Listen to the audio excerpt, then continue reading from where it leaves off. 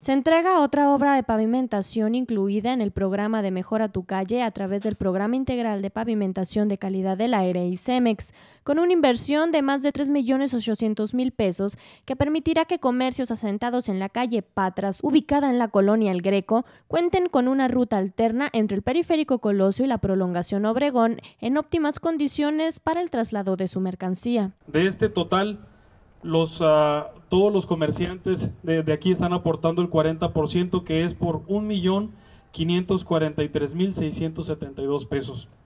En total aquí se construyeron 7.509 metros cuadrados de concreto hidráulico, se colocaron 10 señales restrictivas, se rehabilitaron 470 metros lineales de infraestructura de agua potable y drenaje, así como rehabilitación de todas las descargas de agua, eh, perdón, todas las descargas de drenaje y todas las tomas de agua domiciliarias. Este pavimento fue, también para información, 20 centímetros de espesor está colado, para que nos dure por muchos años, ya que por aquí van a atravesar muchos vehículos de carga pesada y pues para que esta vialidad dure por muchos años para la ciudad de Nogales. Muchas felicidades a todos.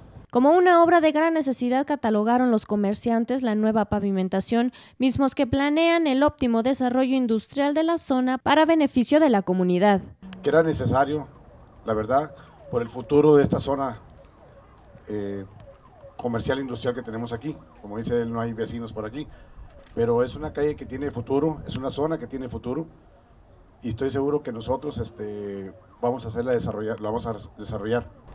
La idea de nosotros es desarrollar esta zona de aquí para la comunidad de Nogales y hacer futuros eh, comercios, negocios por esta zona. Quiero proponerle en este momento aquí al señor presidente es la pavimentación de un pedacito que nos queda. Y vamos a cooperar.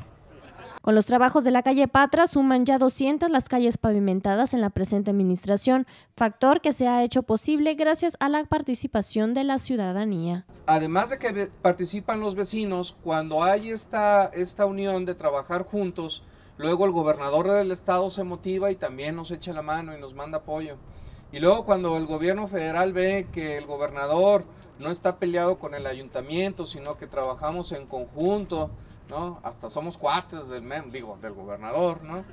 Cuando ve esa sinergia, ese apoyo, pues también ellos le invierten porque saben que lo que inviertan aquí donde se trabaja junto, municipio, gobierno del estado y sociedad, se, se, logran hacer más rápido y mejor y de mejor calidad las cosas, inclusive se multiplica. Que yo estoy, estoy sorprendido de la honestidad de la, de la gente eh, que nos que nos dice, mira, yo sí puedo pagar, pero aquí esta señora no puede pagar, este, se quedó viuda con cinco hijos, eh, le quedó muy poco de pensión y ya es cuando entramos por el lado social a ayudar.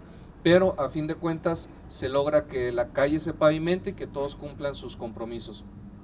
Pues ese es, eso es lo que se está logrando, ese es el, lo que le llamamos la construcción del tejido social, que Nogales está haciendo ejemplo, antes era a nivel estatal, ahora es un ejemplo a nivel nacional de cómo estamos interactuando y comunicándonos entre nosotros para poder hacer que Nogales nos vaya bien y jalemos más obras. Con imágenes de Francisco Villa para el canal de las noticias, Mónica Sánchez.